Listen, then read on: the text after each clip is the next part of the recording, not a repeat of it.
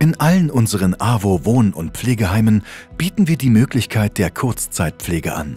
Eine vollstationäre Pflege für eine begrenzte Dauer.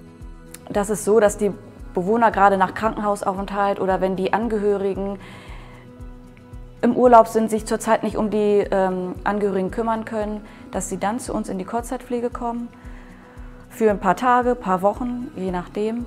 Gemeinsam arbeiten wir daran, ihre Kräfte und Fähigkeiten zu reaktivieren, sodass sie wieder in die eigenen vier Wände zurückkehren können. Ist ein Klientel, was natürlich erstmal sehr vorsichtig ist. Ähm, sie kennen diesen Aufenthalt vielleicht manchmal noch nicht. Und das ist halt wichtig, dass man zuhört. Und wenn sie Probleme haben, wenn sie Sorgen haben und jemanden brauchen, mit dem sie reden, dann ist es gut, wenn wir dann halt auch da sind und ein offenes Ohr haben und auch Verständnis zeigen.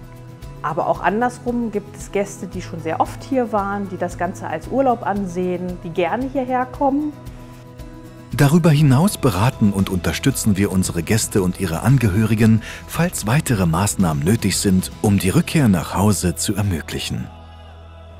Aber am Ende des Tages zählt nur, dass man nach Hause geht und sagen kann, ich habe dem Menschen vielleicht für den Tag, für diese Zeit, die ich bei ihm war, einfach ein Stückchen Glück und Zufriedenheit gebracht.